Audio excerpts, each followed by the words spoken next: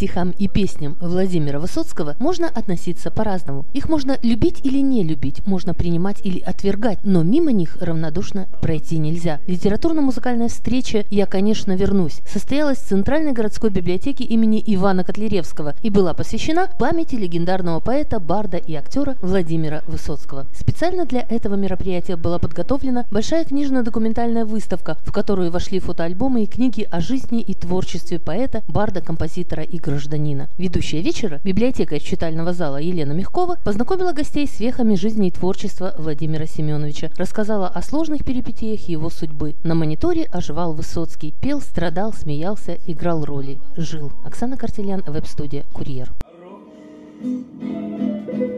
Парня в горы тени рискни, Не бросай одного его, Пусть он в связке в одной с тобой, Там поймешь, кто такой. Пророков нет, не сыщешь днем с огнем. Ушли и Магомед, и Заратустра. Пророков нет в Отечестве своем, но и в других Отечествах не густо. А внизу говорят, от добра не знаю. Хорошо, что ушел, без него станет дело верней. Паутину в углу с образов я ногтями сдираю. Тороплюсь, потому что за домом седлают коней.